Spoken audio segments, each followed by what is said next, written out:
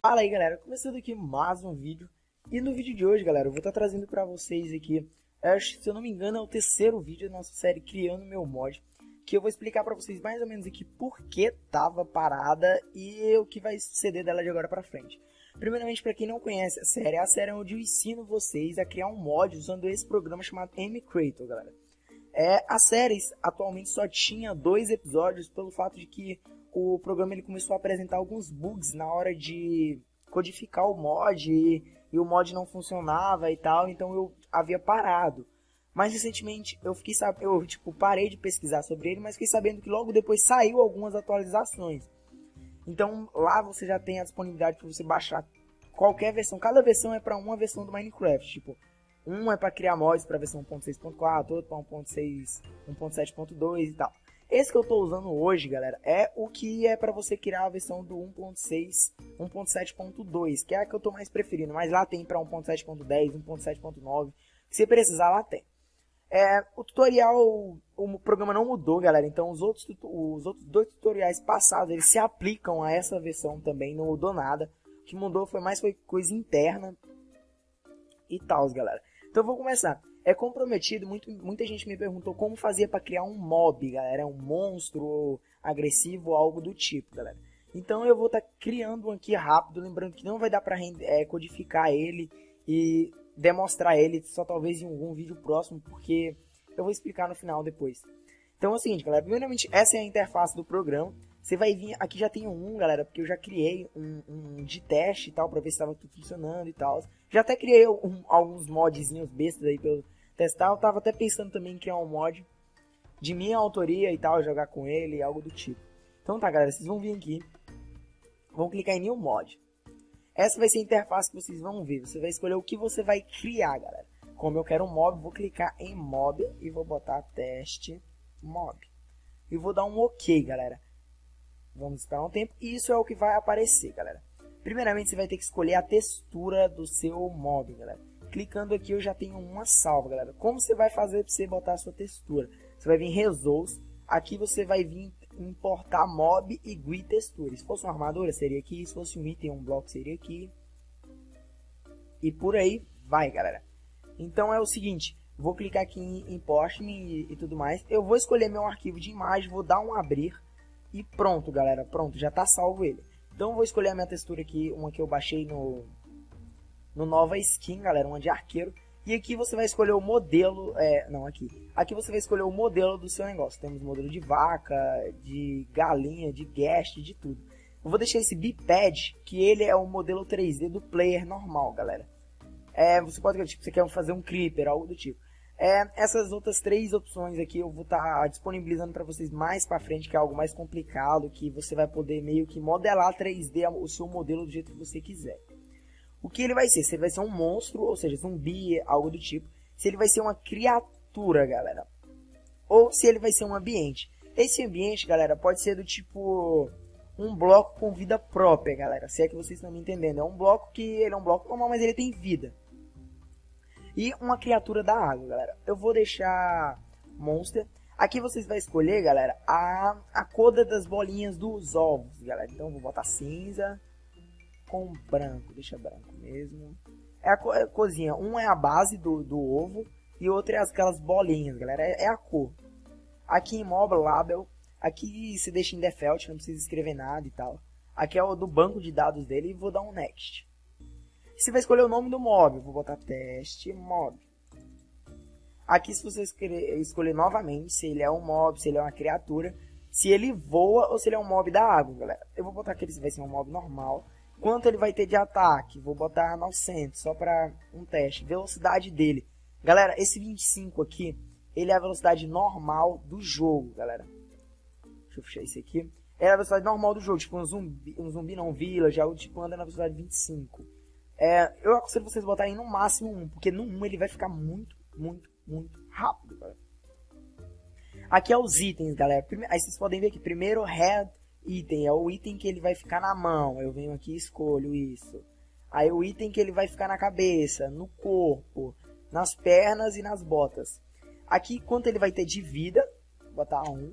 E se ele vai ser imune ao fogo ou não, vamos botar assim. O que é que ele dropa, galera? Primeiramente é o que ele dropa, normalmente, tipo, sei lá, dropa uma carne. E o que é que é muito raro dele dropar, no caso um diamante, vamos botar só de teste. É a experiência que ele dropa. Botar um número, opa, é número. Botar um número aleatório aqui de experiência. E aqui, galera, é o som dele. É a mesma coisa, você vem aqui em Resource, é, ADD Custom Songs. Aí você vai escolher o seu som, salvar ele em formato. Lembrando que tem sim formato .ogg, que é o formato do som, galera. Você vai vir aqui, vai clicar aqui, vai escolher o seu som e vai ser feliz, galera. Deixa eu ajeitar aqui. Feito isso, parece que o programa deu uma travada quando eu cliquei aqui para ir pro negócio do som. Vou dar um next. Pronto, galera, voltei. Foi que o programa tinha travado aqui, eu fiz burrada aqui. Você clica aqui, vai escolher o seu som normal. E é isso, galera. Vamos dar um next. Aqui, galera, é os eventos. Eu já expliquei mais ou menos tudo que vai acontecer. Aqui, por exemplo, o que vai acontecer quando ele for atingido com a luz. Um exemplo aqui temos aquele Creeper, o Creeper Charned, né? Quando cai um trovão nele fica daquele jeito. E se você clicar em ADD Event, e vai escolher que evento, vai colocar um bloco, vai spawnar algum outro mob, vai fazer um som, vai tocar uma música, vai spawnar partículas, vai emitir sinal de redstone. Você vai escolher, galera. Quando esse mob cair, quando esse mob morrer, quando esse mob atacar e quando esse mob for clicado. É, aqui é, vai da parte de vocês, para que você quiser o seu mob e tudo mais. Galera. Vou dar outro next. E aqui é a base do seu mod. Mob, galera. Eu confundo muito mob com mod. Primeiramente, aqui se você vai, vai ele vai ter uma, uma, uma inteligência artificial que você vai clicar aqui, ó.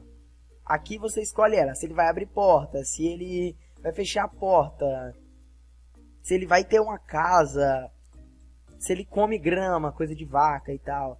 Se ele é fraco ao sol, você vai escolher tudo aqui, galera. Se ele é uma criatura do Void, e aí por aí vai as coisas, galera. Você vai escolher aqui, mas aí você marca e escolhe aqui. Mas se você não entender muito da, da, da inteligência artificial, que é esse algo do tipo aqui, galera, mas é algo bem fácil mesmo, você faz assim, eu aconselho vocês ir treinando antes de tentar fazer algo definitivo. Se ele, se ele for um boss, galera, isso aqui é para aparecer aquela barra de boss, o nick dele e a barrinha. E se você não souber mexer com a inteligência artificial, você vai vir aqui e vai escolher um mob de base. Exemplo, se eu escolher Creeper aqui, esse meu mob, quando chegar perto do player, ele vai explodir. Entendeu? É, se eu escolher é, Witcher, ele vai jogar poção no meu, no play, entendeu? Algo do tipo. Aqui já é uma coisa pronta já para você que não sabe fazer, galera. Exemplo, que gigante, ele vai ser grande. Ele vai ser grande e só vai tomar dano da cintura para baixo, galera. É, Iron Golem, ele vai defender e tal, tudo mais e tal. Vou botar Iron Golem aqui e dou um outro next. É, a, a probabilidade dele fazer spawn o número de mobs que vai sair do spawn. Se for um boss, galera, vocês estiverem já manjando pra caramba, vocês deixem isso 1, porque aí vocês criam uma dungeon bem maneira, botam o mod para criam essa dungeon no mod, que é uma coisa que eu vou ensinar depois, e põe para spawnar só um, galera. Ou seja, na hora que o player chegar na dungeon, vai spawnar só um, e no caso vai ser o boss. É, o máximo de número de, de mobs que vai sair, você põe um também para poder sair só um. Se ele vai nascer em um bioma específico, que você escolhe o bioma específico dele, galera. E se ele vai ser spawnado em dungeons. Que dungeons são essas? Aquelas dungeons padrão do Minecraft que tem um spawner no meio. Se tem chance de aparecer um spawner dele numa dungeon. Deixa eu desmarcar esse e dou um outro next. Pronto, galera. Terminamos o nosso mod. Agora eu vou explicar pra vocês o porquê que eu não posso mostrar ele aqui já renderizado. Porque é o seguinte, galera. Você vai clicar aqui em Start Test Environment After Creation. Por quê? Quando você clicar em Finish, é, vai acontecer algo muito parecido com aquele negócio de renderizar vídeo no de renderizar vídeo no seu programa de edição de vídeo. Como é? Ele vai juntar todos os arquivos e vai com, com, começar a compilar o arquivo Java. Ou seja, isso pode demorar 5 minutos, pode demorar 10, pode demorar meia hora, galera. Mas é, é algo que é para ter certeza. Era nisso que o, que o programa estava dando bug antes, galera ele não tava renderizando, ou é, compilando o mod e tava bugando, galera. Aqui no meu caso, como eu instalei ele, resetei ele para ver se estava tudo funcionando, ele vai baixar de novo esse arquivo aqui. Mas é um arquivo leve, se eu não me engano ele é de 30 megas, ele vai baixar ele. Mas é isso, galera. Como você marcou aquela opção Test and Involvement, quando terminar de renderizar aqui, ele vai abrir um Minecraft. Esse Minecraft, ele não funciona multiplayer, ele não dá pra você fazer outras opções. Ele só funciona para você testar o seu mod, para você saber se ele tá funcionando mesmo, se tá tudo ok nele, ou, ou até mesmo dar uma jogada para testar ele. É, se caso não abrir, galera, mas você tiver certeza que renderizou, vai aparecer um nomezinho verde aqui no final da lista, dizendo que renderizou e tudo mais em inglês. Se não abrir, você pode vir nessa seta aqui e clicar em Start Minecraft Cliente, cliente de teste. Você vai testar para ver se seu mod vai funcionar no multiplayer, galera. Mas aí se você falar, ah, Luan, eu quero testar um mod, como eu, eu, vou saber se ele vai funcionar no multiplayer? Você vai clicar em Start Minecraft Server e ele vai testar para ver se seu mod tem algum conflito no multiplayer, galera. Então é isso, galera. É, aqui tem outras coisas que eu vou explicar mais pra frente, galera. Tools, aqui Results, já expliquei esse Workspace que é, é tipo meio que as áreas de trabalho. Você pode deixar um mod, um mod criando aqui, outro mod criando aqui, outro criando aqui. É, e feito isso, você vai poder exportar é, para o seu Minecraft. Você clica aqui, ele já vai jogar o arquivo jar lá dentro do seu Minecraft. E pode exportar aqui, galera, que você vai escolher arquivo zip ou arquivo jar. Pra você poder exportar o seu mod, você vai botar um nome, dar uma versão para ele, botar uma inscrição, escolher uma imagem, se vai ser Java, vai ser Java, vai ser zip, e selecionar os outros mods que vão ser exportados junto com ele, galera. Lembrando que quando você clicar aqui para exportar, você vai selecionar um local para salvar ele e vai começar a renderizar de novo. O ruim de criar mods é isso, mas o bom desse programa é que esse tipo de essa renderização você teria que fazer ela manual, programando e tal, e esse é uma coisa que o programa te priva muito. Só precisa de tempo e uma boa criatividade, galera. A gente vai ficando por aqui. Deixa aqui seu like aí pra se você quiser mais vídeos. Eu ainda tô pensando direito em que eu vou trazer em outro vídeo. Não sei se vou ensinar a fazer um bioma, algo do tipo. Então é isso, galera. A gente vai ficando por aqui com mais esse vídeo. Então é isso. Deixa aí seu like, seu favorito, seu comentário. Suas dúvidas são bem-vindas, galera. As suas críticas também. Então é isso, galera. Falou, valeu e até a próxima.